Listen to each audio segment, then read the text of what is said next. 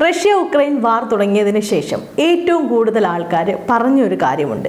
എന്തുകൊണ്ടാണ് നമ്മുടെ വിദ്യാർത്ഥികൾ? പ്രത്യേകിച്ച് ഇന്ത്യയിൽ നിന്നുള്ള വിദ്യാർത്ഥികൾ എന്തുകൊണ്ടാണ് പുറം രാജ്യത്തേക്ക് പഠനത്തിനായി പോകുന്നതെന്ന്? ഒരുപാട് ചർച്ചകൾ ഈ വിഷയത്തിലുണ്ടായി. യഥാർത്ഥത്തിൽ ഇത് ഇപ്പോൾ ചർച്ച ചെയ്യേണ്ട ഒരു സംഭവമല്ല എങ്കിലും ചർച്ച ചെയ്യേണ്ട ആവശ്യകത ഉണ്ട് എന്നുള്ളതാണ്. പലപ്പോഴും നരേന്ദ്രമോദി അടക്കം ഇത്തരം കാര്യങ്ങളിൽ വിമർശനങ്ങളും ചില ആശയങ്ങളുമൊക്കെ ആയിട്ട് മുന്നിൽ വന്നിട്ടുണ്ടായിരുന്നു. എന്തായാലും പല വിദ്യാർത്ഥികളും ഇക്കാര്യത്തിൽ പ്രതികരിച്ച് കാണുന്നതും ഞാൻ കണ്ടിരുന്നു. എന്തായാലും കഴിഞ്ഞ ദിവസങ്ങളിലൊക്കെ നമ്മൾ ഇത് തന്നെ ചർച്ച ചെയ്തുകൊണ്ടിരിക്കുന്നതുകൊണ്ടായിരിക്കാം കുട്ടികൾക്ക് ഇതിനെക്കുറിച്ച് കുറച്ച് കാര്യങ്ങൾ പറയാനുണ്ട്. എന്തുകൊണ്ടാണ് ഇവർ ഹയർ സ്റ്റഡീസിനായി പ്രത്യേകിച്ച് എം ബി ബി എസിനായി പുറം രാജ്യത്തേക്ക് പോകുന്നത് എന്നുള്ളത്? സത്യം പറഞ്ഞാൽ അവർ തന്നെ പറയുന്നതനുസരിച്ച് ഇവിടെ സീറ്റുകൾ വളരെ കുറവാണ് എന്നുള്ളതാണ്. അതുമാത്രമല്ല ഇന്ത്യയിൽ തന്നെ അഡ്മിഷൻ വാങ്ങുക എന്നത് വളരെ വലിയൊരു ടാസ്ക്കായി മാറിയിരിക്കുകയാണ് പ്രത്യേകിച്ച് കേരളത്തിൽ. പണം കൂടുതലുള്ളത് കൊണ്ടല്ല മറിച്ച് പഠിക്കാനുള്ള ആഗ്രഹം കൊണ്ട് മാത്രമാണ് ഇത്തരത്തിൽ ഇവർ പുറം രാജ്യങ്ങളിലേക്ക് പോകുന്നത് എന്നുള്ളതാണ്.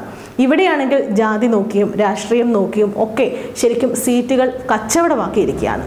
അപ്പോൾ അതിനിടയിൽ പഠിക്കാൻ ആഗ്രഹിക്കുന്ന കുട്ടികൾക്ക് ഒരുപക്ഷെ ഇത്തിരി മാർക്ക് കുറഞ്ഞതിന്റെ പേരിൽ അഡ്മിഷൻ നഷ്ടപ്പെടുന്നു. അതുകൊണ്ടാണ് ഇവർ പുറം രാജ്യങ്ങളിലേക്ക് പോകാൻ തീരുമാനിക്കുന്നതിന്റെ ഒരു പ്രധാനപ്പെട്ട കാര്യം. പിന്നീട് ഫീസിന്റെ ഒരു ഘടനയാണ്. ഇവിടുത്തെ ഒന്നോ രണ്ടോ വർഷത്തെ ഫീസ് കൊണ്ട് അവിടെ മുഴുവനായി നമുക്ക് കോഴ്സ് പൂർത്തിയാക്കി അതായത് ആറ് വർഷത്തെ കോഴ്സ് പൂർത്തിയാക്കി ഇറങ്ങാൻ സാധിക്കുന്നു എന്നുള്ളത്. പിന്നീട് വേറെയുണ്ട് കേട്ടോ. അതായത് ഇന്ത്യൻ എംബസിയുടെ കണക്കുകൾ പ്രകാരം യഥാർത്ഥത്തിൽ എത്ര കുട്ടികൾ പഠിക്കുന്നു എന്ന് ഈ ഒരു കാര്യത്തെക്കുറിച്ച് നമുക്കറിയണമെന്നുണ്ട്.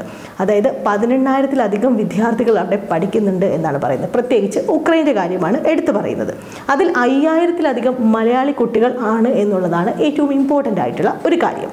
എന്തുകൊണ്ടാണ് ഇത്രയും കുട്ടികൾ ഉക്രൈനിലേക്ക് പോകുന്നത് എന്നുള്ളത്? പ്രത്യേകിച്ച് എം ബി ബി എസ് കോഴ്സിന് പോകുന്നത് എന്നുള്ളത് നമ്മൾ ആദ്യമേ ചർച്ച ചെയ്തു. ഈ പറയുന്നത് പോലെ പതിനഞ്ചോളം സർക്കാർ യൂണിവേഴ്സിറ്റികൾ അവിടെയുണ്ട്. പിന്നീട് കുറഞ്ഞ ട്യൂഷൻ ഫീസാണ്. അതുമാത്രമല്ല ലളിതമായ പ്രവേശന നടപടികളുണ്ട്.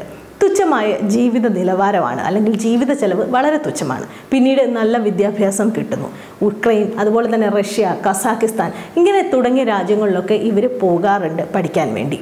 കഴിഞ്ഞ പത്ത് വർഷം കൊണ്ടാണ് ഈ തരത്തിലുള്ളൊരു വളരെ വലിയൊരു ഹ്യൂജായിട്ട് കുട്ടികൾ അങ്ങോട്ടേക്ക് പോകുന്നുള്ളത്. ഇത് എന്തുകൊണ്ടാണെന്ന് ചോദിച്ചാൽ നമ്മുടെ സ്വാശ്രയ മേഖലയിലെ പ്രത്യേകിച്ച് കേരളത്തിലെ കാര്യം എടുത്തു പറഞ്ഞു കഴിഞ്ഞാൽ ഇവിടുത്തെ ഉയർന്ന ഫീസ് നിരക്കും. പിന്നീട് സർക്കാരിന്റെ സീറ്റ് കിട്ടിക്കഴിഞ്ഞാൽ ഇവ നമുക്കറിയാം പകുതി പൈസ കൊടുത്ത് തന്നെയാണ് പഠിക്കുന്നത്. ഇത്തരത്തിൽ സർക്കാരിന്റെ സീറ്റുകളിൽ എണ്ണത്തിൽ കുറവാണ് എന്നുള്ളതാണ്.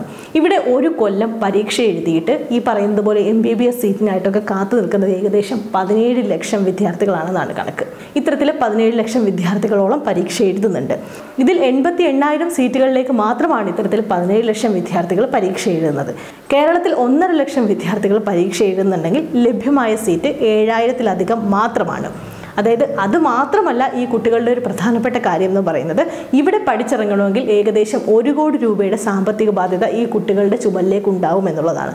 പിന്നീട് ഇവർ സർക്കാർ കോളേജിലൊക്കെയാണ് പഠിക്കുന്നത് പിന്നീട് ഇവർ സ്വാശ്രയ കോളേജുകളിലൊക്കെയാണ് പഠിക്കുന്നതെങ്കിൽ സർക്കാരിന് പിന്നെ അവരുടെ പിറകെ നടക്കേണ്ട ഒരു ആവശ്യകത വരും. അതായത് ഇവർക്ക് ഹൗസ് ഏജൻസി ചെയ്യാനൊക്കെ സർക്കാരിന്റെ കാൽ പിടിക്കണം. ഇവർക്ക് ഇത്തരത്തിൽ സീറ്റ് കിട്ടിയാൽ തന്നെ ഒരു കോടി രൂപയുടെ സാമ്പത്തിക ബാധ്യതയാണ് ഓരോ കുട്ടിക്കും മേൽ അടിച്ചേൽപ്പിക്കപ്പെടുന്നത്. പിന്നീട് സംഭവിക്കുന്ന ഒരു കാര്യം എന്ന് പറഞ്ഞാൽ ഇവർക്ക് വീണ്ടും ഹൗസ് ഏജൻസി ചെയ്യണമെങ്കിലൊക്കെ ഇവർ സർക്കാരിന്റെ കാൽ പിടിക്കേണ്ട ഒരവസ്ഥയും വന്നിരിക്കുന്നു. അങ്ങനെയൊക്കെ നോക്കുമ്പോൾ ഇതൊക്കെ പരിചയമുള്ള ആൾക്കാർ തന്നെയാണ് ഇത്തരത്തിൽ പുറം രാജ്യങ്ങളിലേക്ക് പോകണമെന്ന് വാശി പിടിക്കുന്നത്. അവിടെ മറ്റൊരു കാര്യമുണ്ട്. ഇന്ന് വന്ന ഒരു വാർത്തയിൽ ഞാൻ കണ്ടതാണ്.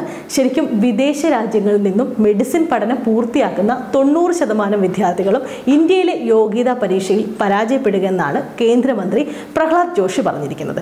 അദ്ദേഹത്തിന്റെ ഈ സ്റ്റേറ്റ്മെന്റിനെ കുറിച്ച് കൂടുതൽ നമ്മൾ അന്വേഷിക്കേണ്ടതുണ്ട്. എന്തുകൊണ്ടാണ് കുട്ടികൾ പരാജയപ്പെടുന്നത് എന്നുള്ളത്? പൊതുവെ പറഞ്ഞു വെൽക്കുന്നത് ഇവിടെ പഠിക്കാൻ കഴിവില്ലാത്തത് കൊണ്ടാണ് പുറത്തു പോയി പഠിക്കുന്നതെന്നാണ്. അപ്പം ഇത്തരത്തിൽ നമ്മുടെ കേന്ദ്രമന്ത്രി തന്നെ ഇത്തരത്തിലൊരു ആശയം പറയുമ്പോൾ യഥാർത്ഥത്തിൽ ഇത്രയധികം കുട്ടികളുടെ ഭാവി എങ്ങോട്ടാണ് എന്നുള്ളൊരു ചോദ്യമുണ്ട്. എന്തിനാണ് വിദ്യാർത്ഥികൾ മെഡിക്കൽ പഠനത്തിനായി വിദേശ രാജ്യങ്ങളെ ആശ്രയിക്കുന്നതെന്നാണ് അദ്ദേഹം ചോദിക്കുന്നത്. ഇത് ചർച്ച ചെയ്യാനുള്ള സമയമല്ല ഇപ്പോഴെങ്കിലും ഇത് ചർച്ച ചെയ്യേണ്ട ഒരു വിഷയമാണെന്നും അദ്ദേഹം പറയുന്നുണ്ട്.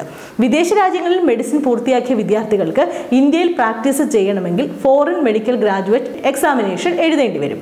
പരീ ഈ പരീക്ഷ എഴുതുകയും പരീക്ഷ ജയിക്കുകയും ഒക്കെ വേണം. ഈ പരീക്ഷയിൽ ജയിക്കാൻ വിദേശത്ത് നിന്നും മെഡിസിൻ പൂർത്തിയാക്കിയ ഭൂരിഭാഗം വിദ്യാർത്ഥികൾക്കും സാധിക്കുന്നില്ല എന്നാണ് കേന്ദ്രമന്ത്രി പറയുന്നത്. മലയാളികൾ അടക്കമുള്ള നിരവധി ഇന്ത്യൻ വിദ്യാർത്ഥികൾ ഉക്രൈനിൽ കുടുങ്ങിക്കിടന്ന സാഹചര്യത്തിലാണ് ഇത്തരത്തിലുള്ള മന്ത്രിയുടെ പ്രതികരണം എന്നതും വളരെ ശ്രദ്ധേയമാണ്. മെഡിസിൻ പഠിക്കാനായി വിദ്യാർത്ഥികൾ വിദേശത്ത് പോവേണ്ട ആവശ്യമില്ലെന്നും ഇന്ത്യയിൽ തന്നെ പഠിക്കാമെന്നും പ്രധാനമന്ത്രി നരേന്ദ്രമോദി നേരത്തെ പറഞ്ഞിരുന്നു. പക്ഷേ ഇതിനുള്ള സൗകര്യമൊരുക്കാനാണ് ഇവർക്കൊക്കെ പാട് എന്നുള്ളതാണ്. വിദ്യാർത്ഥികൾ വിദേശത്ത് പോയി പഠിക്കുമ്പോൾ കോടിക്കണക്കിന് രൂപയാണ് വിദേശത്തേക്ക് ഒഴുകുന്നതെന്നും അത് അവസാനിപ്പിക്കാനായി സ്വകാര്യ കമ്പനികൾ മെഡിക്കൽ വിദ്യാഭ്യാസ മേഖലയിലേക്ക് കടന്നു വരണമെന്നും മോദി പറഞ്ഞിരുന്നു. നമ്മുടെ കുട്ടികൾ പഠനത്തിന്റെ ആവശ്യങ്ങൾക്കായി നിരവധി ചെറിയ രാജ്യങ്ങളിലേക്ക് പോകുന്നുണ്ട്. മെഡിസിൻ പഠിക്കാനാണ് ഇതിൽ ഭൂരിഭാഗം പേരും പോകുന്നത്. അവിടെ ഭാഷ ഒരു പ്രധാന പ്രശ്നമാണ്. എന്നിട്ടും അവർ വീണ്ടും അത്തരം രാജ്യങ്ങളിലേക്ക് തന്നെ പോകുന്നു. അപ്പോൾ ഇക്കാര്യത്തിൽ അന്വേഷണം നടത്തേണ്ടതും അല്ലെങ്കിൽ ഇക്കാര്യത്തിൽ കൃത്യമായ നിലവാരം നടത്തേണ്ടതും ഒക്കെ നമ്മുടെ സർക്കാർ തന്നെയല്ലേ? നമ്മുടെ രാജ്യത്തെ സ്വകാര്യ കമ്പനികൾക്കും ഈ മേഖലയിലേക്ക് വലിയ തോതിൽ കടന്നു വന്നൂടെ സംസ്ഥാന സർക്കാരുകൾക്ക് ഇത് സംബന്ധിച്ച് നയങ്ങൾ രൂപീകരിക്കാനാവുന്നതല്ലേ? മോദി പറയുന്നുണ്ട്.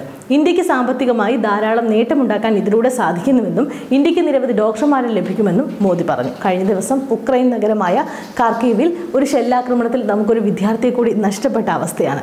അതുകൊണ്ട് തന്നെ ഈ ഒരു സ്റ്റേറ്റ്മെന്റുകളൊക്കെ കാണുമ്പോൾ വളരെയേറെ ഭീതി തോന്നുന്നു എന്നുള്ളത് തന്നെയാണ്. ശരിക്കും ഇത്തരത്തിൽ ഈ പറയുന്ന പോലെ കുട്ടികൾക്ക് ഇത്തരത്തിൽ ദുരിതങ്ങൾ അനുഭവിക്കേണ്ടി വരുന്നു. അവർ ഇവിടെ സീറ്റ് കിട്ടുന്നില്ല. അവൻ അവിടെ പോയി പഠിക്കുന്നു. അവിടെ നിന്ന് തിരിച്ച് പഠിച്ചു വരുമ്പോൾ ഇവിടെ അതിനൊന്നും യോഗ്യല്ല എന്ന് പറയപ്പെടുമ്പോൾ ആ കുട്ടിയുടെ ആ കുടുംബത്തിന്റെ ഒക്കെ അവസ്ഥയെക്കുറിച്ചും നമ്മൾ ചിന്തിക്കണം. യഥാർത്ഥത്തിൽ ഇക്കാര്യത്തിൽ ആരാണ് അന്തിമമായി തീരുമാനം എടുക്കേണ്ടതെന്നും നമ്മൾ അറിയേണ്ടതുണ്ട്.